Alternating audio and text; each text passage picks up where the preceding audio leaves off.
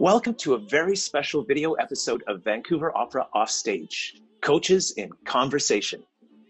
I'm your host, Les Dala, Chorus Director and Associate Conductor of Vancouver Opera. As always, you can find this episode with our weekly audio podcasts as we connect with opera experts, artists, staff, and others to explore the world of opera on and off the stage. For those of you watching the video, don't forget to hit the like button below and subscribe to our podcast on your favorite streaming services. Before we begin, I'd like to say that we are honored to share our stories on the unceded homelands of Musqueam, Squamish, and Tsleil-Waututh nations. Today's episode is a bit of a different format than our usual podcast in that we are doing this episode with two guests on video. I'm joined on video by the wonderful musical staff at Vancouver Opera, Kinza Tyrrell, Principal Repetiteur and Associate Chorus Director, and Tina Chang, Pianist and Repetiteur at Vancouver Opera. We'll talk about the role of the repetiteur in opera and demystify this rather exotic sounding title. Welcome, Kinza and Tina. Hello, everybody. Thanks for So having nice- us. It's great uh, to see you. It's been a while since we've seen each other in person. Um, and a lot has happened in the last couple of months. Uh, in order to keep what we do alive, we've got this podcast going, and I'm so delighted that you're both joining uh, me today. Uh, we've worked together for a long time, the three of us, and um, I think a lot of people don't know what it is that you do, and that we all do. And so today we will demystify this this term repetiteur. So I'm, I'm going to ask you both, and Kinza, let's start with you. How would you define the term repetiteur, and how often have you had to explain what you do to people? Okay, I'm going to keep this answer quite simple because I know as we go with the questions, we'll explain further what it can all entail. Um, the, the basic skeleton of what we do as repetiteurs is we play the staging rehearsals instead of the orchestra. Um, so, répétiteur in French and German uh, literally means repeater. So, we repeat and repeat and repeat, which is what rehearsing is. So, that's the, the base of what we do. Tina, you want to add anything to that? Yeah, I mean, as far as job description go, I kind of call it the everyman of the room. You kind of have to be a little bit of everything as well. So, but you also have to be as invisible as as as possible. So, and like Kinza said, as we dive into more of the questions that come up, um, more will be explained through what we do. Totally. Okay. So, uh, Tina, I'll stay with you on this one to start. How did you get into this profession? Actually, by accident, I was graduating from graduate school. uh, I don't won't say how many years ago, and I was in the states doing my grad school. And at the time, I wasn't sure what my career prospects are going to be. So I sent out resumes to every musical organization that I know and could get my hands on. And San Diego Opera was one of the ensembles that I sent my resume into. And actually, I didn't uh, get accepted when I sent my resume in because they already had somebody. So I went to um, Halifax to be a studio pianist for Marcia Swanston's voice studio at Dalhousie University for a, cou- two years. After which I decided to move back to Vancouver uh, to be t- with my family. Uh, at that time, San Diego was actually also looking for a pianist, and they contacted me two years after the fact, and that's how I got into opera. Well, I love the by accident. I know that that's true for me. And uh, Kinza, how about you? Um, I'm not sure mine was so by accident. I started as a solo pianist, went into more chamber music. From that, went into playing for singers. Really liked the fact that there was a language involved, a poem involved, and a, a language that wasn't always English. So my dream actually was to travel the world um, performing art song. I met many people along the way, uh, mentors that said, you won't be able to make a living just doing that. You've also got to teach or do some other things. Um, so they said, why don't you think about working for an opera house? And there you will learn more about the voice in general. you will learn wonderful repertoire and you'll get to know really good singers who then may be asked to do recitals and they may ask you if they know you and you have a relationship with them they may ask you to play for them and then you will do your art song which you really want to do. So uh, opera was going to be my bread and butter it was going to pay the rent and so i decided to try that route. And once you go down that road it's hard to come back and do anything else. You're so involved in in the opera company that you don't really have much time for anything else and you don't want to leave it. So here i am 13 years has it been 13 uh for 14 years later at vancouver opera um and yeah that's you know it's interesting to see how you got somewhere because you never imagined 20 years ago that this is where you would be yeah, how very true. It is a, a bit of a rabbit hole, the world of opera. Once you kind of descend into it, it just seems to open up and kind of become infinite. It's it's really amazing. Um, I'll stick with you to start this question, Kinza. What is it you love most about being a repetiteur? Uh, simple answer: variety, diversity. Um, never the same thing twice. Uh, every day is different the repertoire keeps changing the people you work with the cast the conductor the directors they all change all the time. So there's like new blood um uh and as we get into further questions we'll reveal more of what our job is which is a huge variety of things other than just playing a piano. So it's the variety of the job that that is i think i love the most. Absolutely. Tina how about you? Yeah, I will add to the versatility and the variety of our job. Um, I really enjoy, even with working come and coming back to working the same piece, but like Kinza said, with the different casting, with different conductors, with different directors, they all bring very many different perspectives to what we all study very hard for the score. So, in a way, it's character study and it's, through music, which is what I really, really like about this job. Indeed. Um, and uh, again, sticking with you, what are some of the aspects of the job that might surprise people? And this might come up a little bit later if we get into specifics, but one of the most surprising aspect that I had to encounter was the mediation sometimes you have to do between a conductor and the performers. And sometimes it can be very easy to communicate that, and sometimes you have to tread very carefully how you express certain points to get both parties involved happy. I think there's some good stories in there that uh, I, I, don't know. Some stories there. I know. I'm looking forward to them. Hopefully, yeah, t- towards the tail end when we just like go wild on this and get all the you know the technical details out of, out of this out of the way. Um, how about you, Kinza? What do you think some of the things are that, that surprise people the most? Um, singing and playing, I think, is a big one. Um, I remember doing uh, my first Onegin with VOA many, many years ago now. And I, I might not have the facts exactly straight, but there was three cast members that were not in the room that I had to suddenly sing and play for in Russian. The mezzo, I think, was sick. The tenor had been replaced and hadn't arrived yet. And someone else came and didn't know the role, and so therefore couldn't had to learn it first before he or she came back into the room. So I remember doing a scene or a couple of scenes and having to, from the piano, sing those roles in Russian. It was my first Russian opera.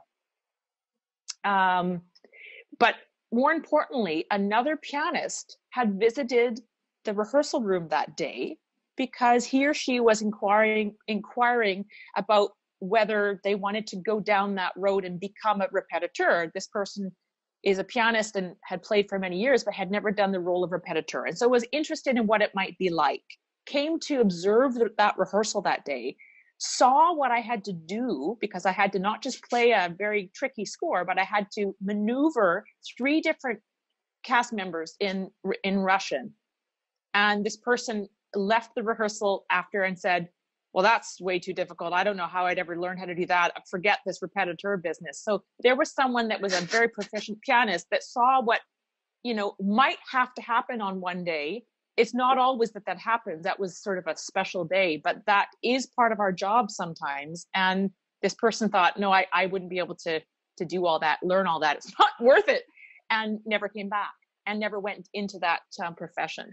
So that was that's something that we have to do in our job. By the way, we always have to do it on the spot. We're never we never really know ahead of time. Sometimes we'll arrive at rehearsal and the singer was singing yesterday and is in town, but suddenly, you know, something scratchy is going on, so they just rather take it easy. And you don't know until you arrive 10 minutes before rehearsal. Are you told that this person is going to be mute for the day? And you need to provide their voice for them. So you you seldom get a lot of warning, and so suddenly the butterflies start, and you just think, well, this is part of my job. Here we go. Totally, and actually, I remember um, a number of years ago when you very publicly did the singing for an indisposed Jane Eaglen of all people singing, and you sang Lady Macbeth of, Verdi. I believe it was the dress that was public dress. dress there were people there, and you found out probably just when you showed up to the theater about half an hour before, like, oh, guess what? She's not singing tonight. Well, what are we gonna do? and things like that. It's true are kind of amazing. I had a, a, similar experience. It was way less public, but it was at the COC like exactly 20 years ago when the uh, the the singer who was singing the role of of uh, Fliegende Holländer, um, I, I, got to the theater and heard learned that they weren't singing. And I said, well, "What are we going to do?" And there was no cover. And nobody in the ensemble was doing it. And I said, "Well, I'll do it," just like stupidly. But I have to say that was kind of a make or break moment, and it's something I'll never forget. And people, a, a friend of ours, we all I know a, a great guy who was singing in the chorus at the time they're hearing this over the loudspeaker because it was in one of the scenes, uh, you know, where the chorus is on not on stage, and they're like, "Who the hell is that?" So he came running out on stage and looked and saw me in the front row, sitting behind Maestro uh, Richard Bradshaw, God bless his soul, no longer with us. And he went running back into the room where they're all playing cards, and you won't believe it, it's Les. And it was just like everybody thought it was hilarious. But this is the kind of thing, it's true, right? When you're repping, uh, you got to do. Uh, Tina, you ever had any what a great diva moment like that where you uh, sang a big role either in rehearsal or even on stage or something? I, well, I haven't. I haven't had opportunity, I guess, uh, if I can use that word, to sing on stage publicly as Kinza has. That's pretty, that's a very courageous act. I really commend you both for, that. Uh, just in rehearsal, um, so in a room run I've done, but not as public as a as a dress rehearsal. Yeah, it's so true though, right? I mean, when you suddenly find out you have to do that, I mean, we've all, I'm, I'm sure, studied some singing and done that sort of thing, but it's not what you expect to do. And then suddenly it's true, exactly what you said, it came to like the butterflies or something. You're like, yeah, this thing of like, oh my God, it, it's like it's a kind of uh, outrageous thing. It's one thing when it's your own gender too. I remember once in a for the Sitzprobe singing for an indisposed soprano in Dialogues des Carmélites, and I just thought that was so unfair. I thought, oh my god, like, well, like I wasn't going to embarrass myself that much. Oh. But I oh. remember just sitting there doing them, and I thought, oh, I just want to crawl, uh, you know, under a rock somewhere. But uh, yeah, it's true, right? Things like that. Um, that leads so easily, I think, into the next question. Um, but pick up on this if you want to continue the the thread. Um, um what are some of the most nerve wracking aspects of the job, and what are some of the most rewarding? We can split those up as well, but nerve wracking. I think what we were talking about is certainly an element of that. Who would you like to go uh, first? Well, go ahead, Kinza. Okay. Um, nerve wracking. Um, chasing singers in recitatives, oh. especially when they jump a passage, and especially when they jump from Act One into Act Three, and you don't know if they're going to come back into Act One, and you don't know what their colleagues are going to do after the jumped line and you're far from them on the harpsichord and you you know too far to prompt them and just hoping you know that they find their way back. So that can be very nerve wracking and the most rewarding when it works itself out.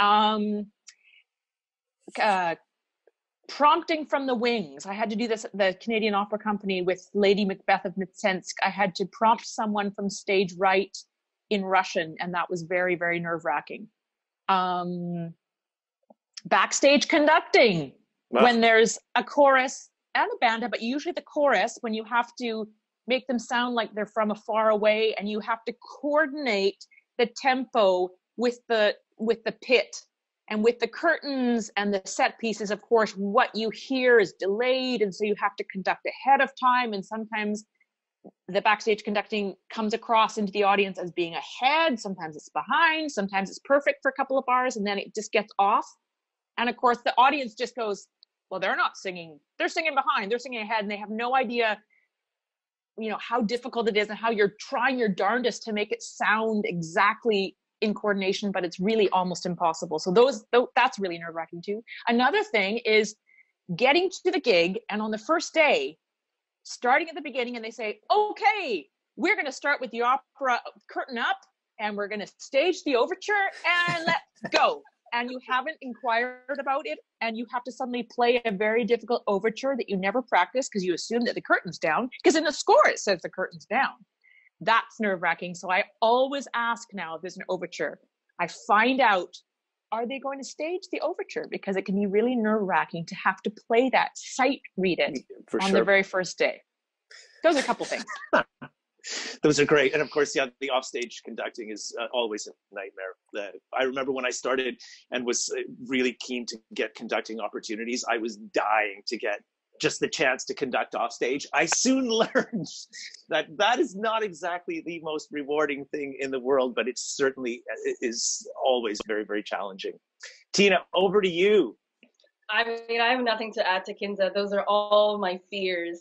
And my most probably proudest moments when they succeed as well. You know, um, I recently tried my hand at prompting and it is scary. And sometimes when it's, you don't even know if the colleagues of the other, of the other castmates on stage are going to jump in and help out. So there have been moments where some, you know, I'm prompting from the wings, but also the, the, the singer colleague is helping out. So you have two conflicting information. That's always a little bit like, okay, so who do we go with now? And that is that is a, a, a bit of question I think to also think about. Um, the backstage conducting is is tough, and you have to really know for me the the theater very well and the configuration backstage and how how that translates into the theater and those that is always very different even if you do the same production, the same theater over and over, it seems like it's sometimes guesswork.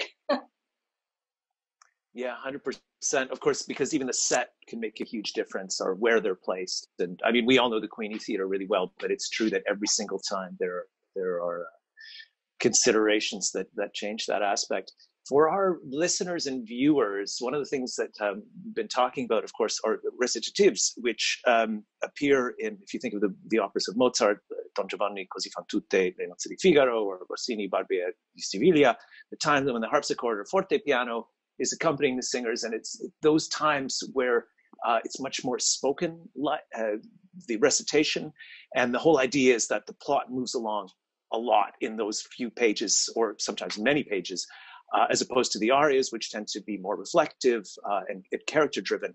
And it's so true, right? When you're accompanying that and somebody goes dry or jumps, it, it is quite terrifying. I, I had Daniel Okulitch on the show a few weeks ago, and he talked about he's somebody who sang uh, Don Giovanni, I believe, in 14 or more productions around the world, and he's got a bunch coming up. But he did his first Leporello just a, a year or so ago, in Montreal. And he talked about, you know, he was constantly singing the Don's lines in his head and then what's coming up with Leporello. But he did have a moment in one of the performances where just before uh, I think it was Fin ch'han dal vino, he said, which is almost all Leporello uh, recit, he just completely went dry and he started, you know, kind of doing what singers do is sort of making up Italian to try and get back on. And he said it felt like an eternity uh, but and, he, and after you know it was probably all of like 10 20 seconds but uh, it's true, right? When you're at the keyboard, what do you do? And you're trying to read their minds, and and you never talk about it in rehearsal. And No. it's always live performance. There's always going to be glitches. I mean, we just did Barber of Seville, and um, that was the one that Tina was prompting in the wings, and I was playing the keyboard across the way, and um, things happen, and you. No one likes to talk about it, but I always like to say in rehearsal, okay, so do you tend to be a person that goes back and fixes what you've made a mistake of, or do you do you like to continue? Or do you, do you like me to play your notes for you to get you at least the melody so you know where we are? Like how do you want me to proceed with the little wiggle that we've just had? Mhm. and it's a good word. no one wants to talk about it and i just think it's probably going to happen. So let's just let's just discuss what the remedy might be but no one ever wants to so when it happens you're you you don't you don't know which route to take you don't know whether to go back to the line that was messed up or like it, yeah so but no one ever wants to discuss how to It's true, right? You're kind of damned if you do, damned if you don't. I mean, you don't want to jinx it, but it's true that. Eh, but then again, two people will say, "Oh yeah, you know, I tend to go back for something," and then you're ready with that And they- game plan, and they then don't. that doesn't happen. This is yeah. yeah, it's true. It's just uh, that's the thing about live theater, which I think uh, people can appreciate, of course. But the, the playbook is, you know, you've got it all planned, and then stuff happens, and uh, it's what what you do and how to recover. So very, very, very true.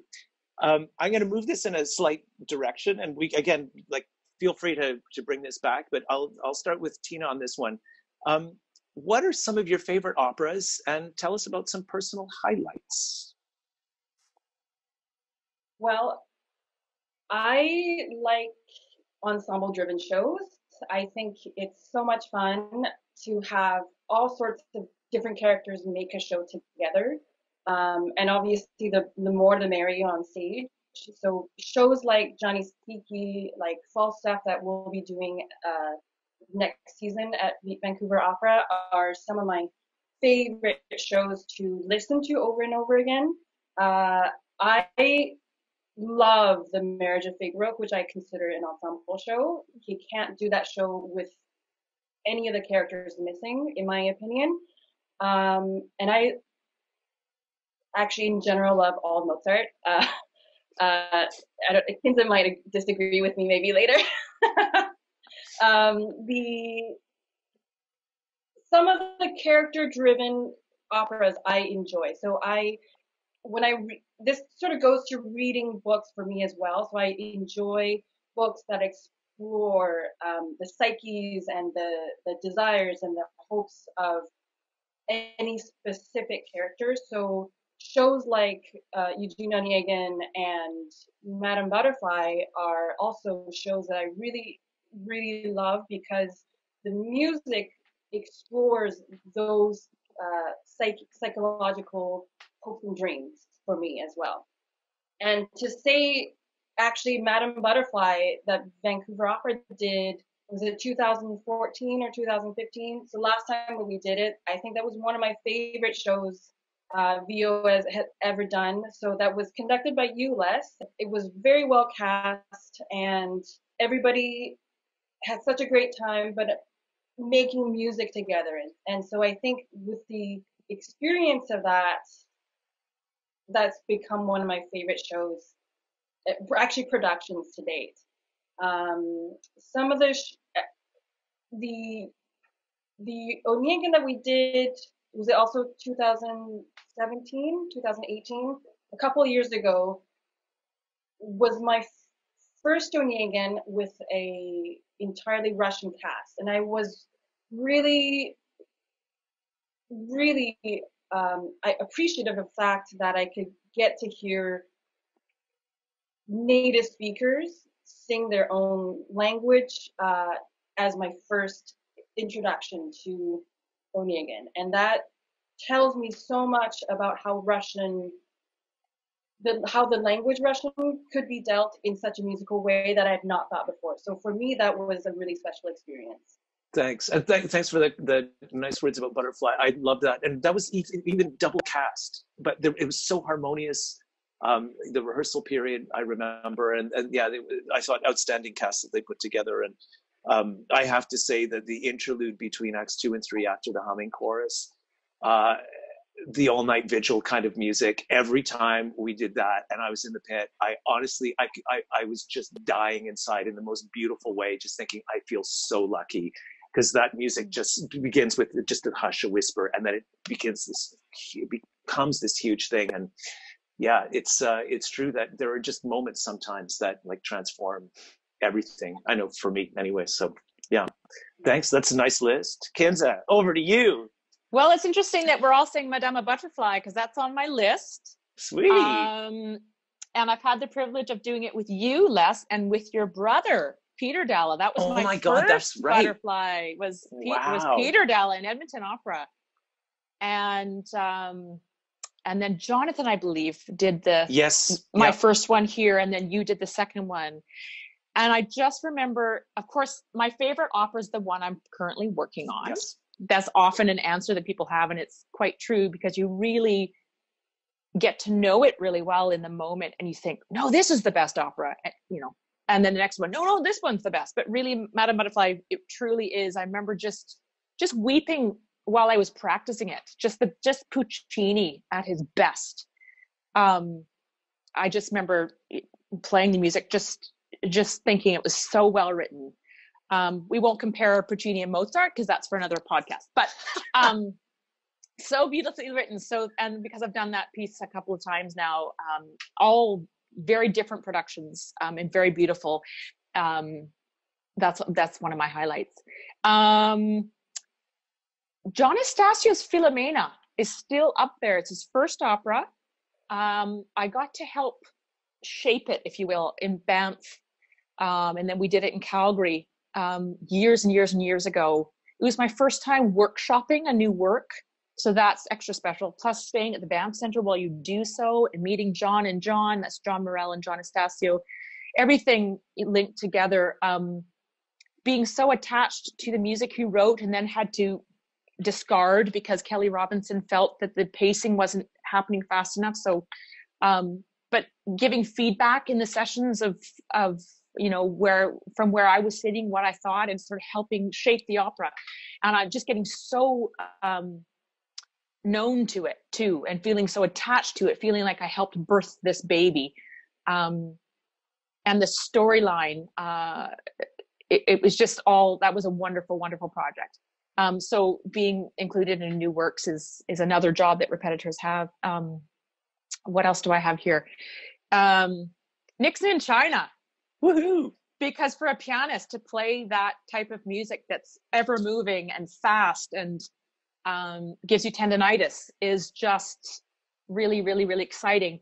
Uh, having to then play one of the piano parts in the pit on an old synthesizer and have the computer conk out on you and different electrical issues and the conductor yelling at you as if it's your fault and and having no room to turn a page because there's 16th notes for for miles and you have you can't drop a hand to turn a page and that whole but that whole experience and, and playing that score by john adams is just eh, will really stand out. And it was during the olympics 2010 so um, i'll forever remember that experience. Um, and then finally uh, what really sticks out for me is is canadian opera company's ring cycle. Mm-hmm. so i have the privilege of playing all four operas let me get them. This is uh, Das Rheingold, Die Walküre is next, isn't it? Mm-hmm. And Siegfried and the um, Götterdämmerung. I think it's about 13, 14 hours of music in total if you if you do play all the operas. Even more, actually. Um, yeah. Is it more than that? I wanted to to not go over. Um, That's... But I remember so um, I played all four operas that summer, and so one morning I'd play Siegfried, and then that afternoon I'd play Walküre, and the next day I'd play Götterdämmerung. And so, so every every three hours I was shifting pieces. It's the same work, it's the same composer, it's the same storyline woven throughout, but having to learn that amount of music um, and and rehearse one and then the other, um, especially when you have musical motives, which are little themes, and every time you play a theme in a different opera it's in the major key it's in the minor key it's half as slow it's twice as fast it's um you know it's got all these this these variants and having to keep all those straight jumping from opera to opera was uh, was very challenging but very rewarding and at, at the same time we opened the new opera house that they have so that whole project was was quite a highlight of my career so far and so now when i have to learn just a three and a half hour opera it's, it's sort of easy compared to that summer when you had to know four um, I bet. Yeah, those are a couple of my favorite things. That's an awesome list, and it's true. I mean, that is an awful lot of music to have in your head and hands at one time. Um, it, it's true that it makes you know when we think of you know we all trained as pianists, so when you're preparing a five-minute romantic piece or a Beethoven sonata, which could last anywhere from 15 minutes to 30 minutes. Still, if you're playing a three-hour opera, the, the dimensions of time, I think, really are uh, are very different, and it's something that. Uh, again, somebody only in the opera world, I think, can really relate to that. So, um, and I was going to uh, turn it over to Tina. I, I, think that was was that the first show Nixon in China where you joined us? I know you played in the pit, you and Kinza, and I believe and Angus, Angus was Kellett. on the third key. There were three keyboard parts, and I I really had so much admiration for for you down there because you were all dealing with with this you know technology uh, that could fail you at any moment. And I was in the house all the time. I was I think I said on on a, a previous session that I think that was the, the, first show where I literally wanted to be in the house for every second, uh, even of the performances, because it was such a again Michael Cavanagh show uh, Erhard Rom created the, the set design and uh, another super, super highlight, but it must have been super, like stressful on those keyboards at the back there. Tina, you have anything to say about Nixon in China? Was that in fact your first VO show? That was my first VO show in the pit. I actually okay. didn't work on that show as a rep because I yep. was part of the VOIS at the same time. Aha. Uh-huh. Okay. I think while Nixon was in in the theater, somehow VOIS wasn't happening for those two weeks that we were that right. Nixon was happening. So I could be in the pit, um, but I I think that was the hardest counting job I've ever had. To you can't rely on what you hear, and sometimes you can't even rely on the beat patterns because what you see and what you what you see in your score and what you see the conductor doing and what you hear your music music colleagues doing around you, they don't line up a lot of times. So you just have to really stick to your gun and know that you're right, and then hope yeah. that you all at the end together. yeah, that that crazy score. I forget it has something like over a thousand like meter changes yeah, in in the piece or something. Somebody counted them once. I but I forget. Yeah. Um, this yeah. leads really well into the last question. I think I'll flip it over to Tina to start because you've already got one uh, in there to lead us off. Kinza, um, share this is like dessert for me this is the fun part um, please share some of the craziest funniest things that you've experienced in this profession the craziest thing i had to do uh, one of the craziest thing i had to do was um, maybe this is embarrassing so i won't name any names but i had to actually tell a conductor that he was reading a time signature wrong and it was I hope it wasn't me. I'm trying to think. and it was messing up the rehearsal so many times, and I finally and the singer kind of came up to me at break of the rehearsal, and he was like, "Is it me or what is going on? I can't figure out what I'm doing wrong. Can you tell me what I'm doing wrong?" Because you know, kudos to this this singer. He was very professional about it, and and I just said, let me talk to Maestro and I'll get back to you. And and I couldn't figure out what he was doing. And then I then finally, as we were talking more and more, I, I figured out, oh, you're just reading the the note values wrong. It was one of those old French scores where the quarter rests look like eighth the mm, backward. Mm, yes, yes. Um, so somehow he misread that and was was doing a bit weird things, and anyway, it, it, it got all figured out, and it was fine after that. the other crazy thing, one of the productions I did of Barbers of Seville was an outdoor production um, in Minnesota, actually, and in the in the heat of summer, we had the orchestra was actually behind the stage, so we had to set up monitors in order for the singers to be able to see the conductor. Um, but summers in Minnesota, at least for the couple of shows that we did, they were so hot that it affected the the cable speed of the monitors. So I can see the monitors, but the conductor can't see the monitors. Um, and I'm look, you know, I'm looking at him, but also looking at the conductor, and it's about a three second delay. oh wow! It was it was tough. I mean, the singers figured that out pretty quickly because they could hear the orchestra coming from behind them. So in that case, they were they had to rely on only what they hear um, and hope that it's all together and they can't watch the monitors at all. Um, it was also because it was so hot. I had all these bugs in my score. I was playing the recitatives for that show, and all these bugs crawling all over my score. And you're just trying to stay on top of your notes and like swat the bugs at the same time. It was. You don't want to see my barber score because it's pretty blotchy. I still have. That is amazing. Actually, you reminded me. I spent three summers in Santa Fe, and that was exactly the same thing too. Like mosquitoes and stuff. Like you open up a score that you've ever done there, and they're still covered and like you know these little insects and uh, yeah turn the page and it usually kills one. I mean not that anybody i don't mean to kill anything but yeah. And the conductors would often say that too especially when it got really dark and they're in the pit and so all these like flies and everything are around.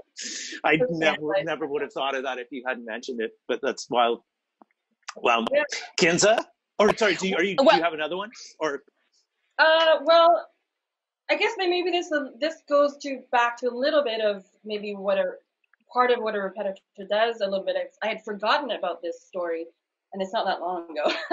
um, I was doing this show where they had what looked like Chinese syllables at the beginning of the show, um, but I couldn't decipher what they're supposed to mean.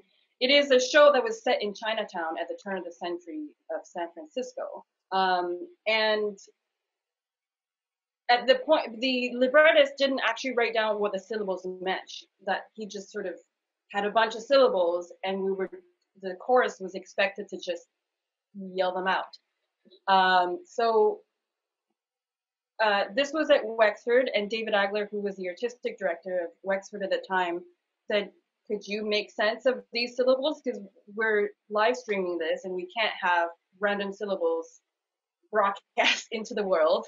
Um, so, so with the director, we came up with syllables that are very similar in sound to what the librettist gave based on her concept of a staging um, to sort of give context to what these texts might mean.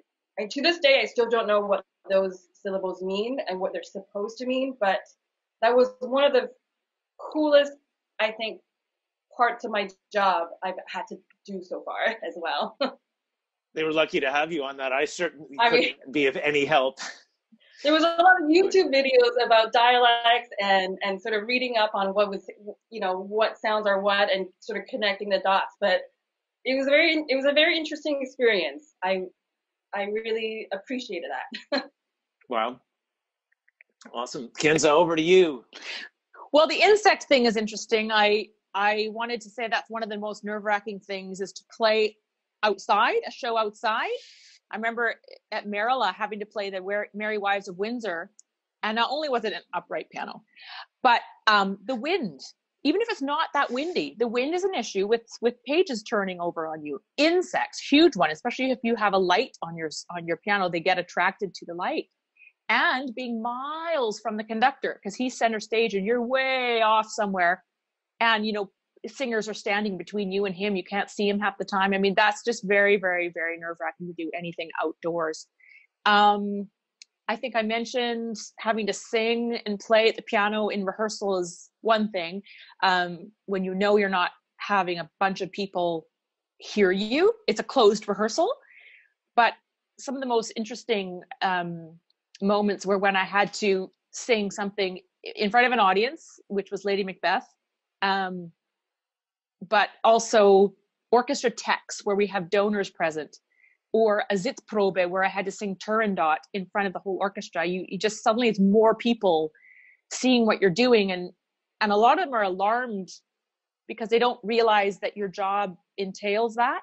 And so they come up and go wow how did you do that? Good for you. Ah you you speak italian. They ask all these questions that you kind of go well yeah that's part of our job. We just don't always get to display it. So those have been some interesting parts of the job. And again you you never find out until you arrive that this is about to happen. The prompting from the wings is another one. Um, how about this? Teaching a bagpipe player how to follow a conductor's baton. How about an accordion player following a conductor? How about a guitar player following a conductor? What do those three instruments have in common none of them have to ever be in an orchestra where they're following a conductor they can be in a band but conductorless, but none of those instruments are used to playing in a symphony and following the guy or the girl with the stick. And so, can you imagine those three instruments all being in one opera, Filumena by John Estacio, and I had having to set them straight and, and making them figure out how to follow a baton when it's not a it's not a quick lesson.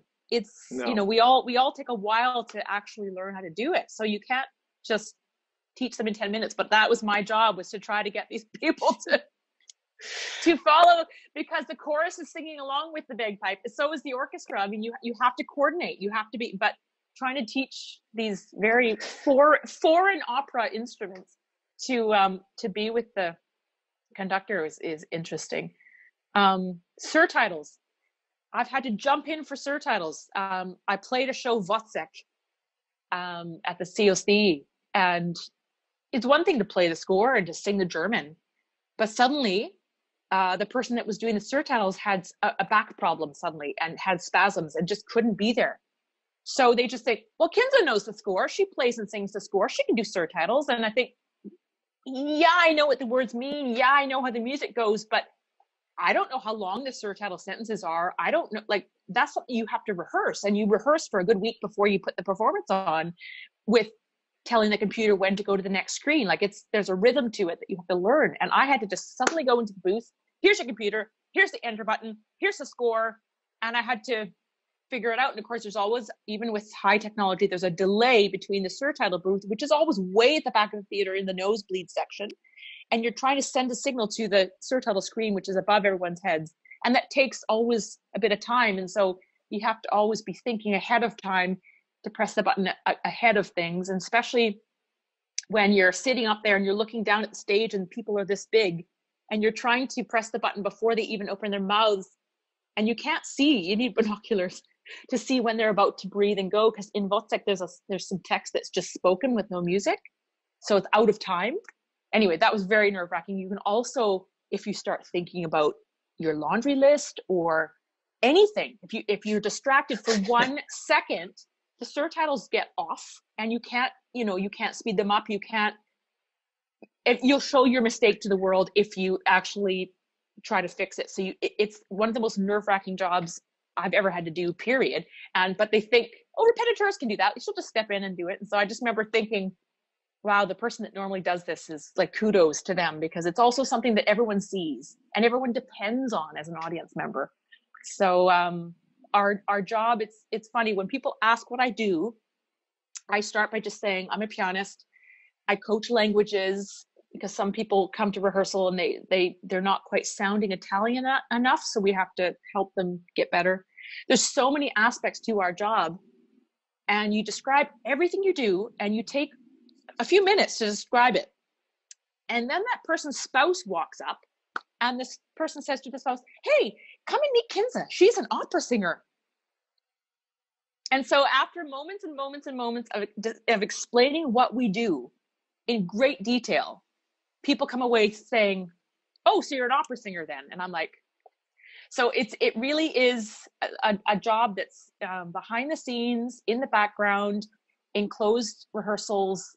Uh, you'd have to actually spend a week with us um, with a camera to see what all we do because it's you explain it and people just can't envision what it is and they so i just give always a very simple answer because the detailed one it seems to just you know go over their head. Right. But there it it's is. so true it does entail an, an awful lot of skills and both of you are truly exceptional at what you do Kinza and Tina, it's been such a pleasure having you both on the show. Um, you've really, I think, helped demystify what repetiteurs do. Uh, do you want to leave any last thoughts for our audience today? I'll start with you, Tina. Um, any thoughts? Anything we didn't cover? I think that's a lot of lot of jobs that we've covered, but I mean, feel free to shadow any of us. it would be yeah that i think that's probably the best way. I i myself didn't realize how much work or how many job descriptions go into the into one tiny word of repetiteur until i started doing it. So and i'm still discovering what any of all those jobs are. So it is a very much uh, a i guess career vocation a lifelong career all I have to say. Thanks for Beautiful. having me. Thank you so much for being on the show. Kinza, over to you.